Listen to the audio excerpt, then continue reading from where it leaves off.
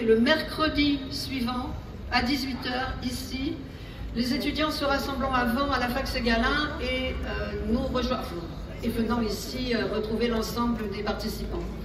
Donc, pas de manif samedi, sauf, sauf si l'attaque contre Rafa se déclenche euh, incessamment, bien sûr.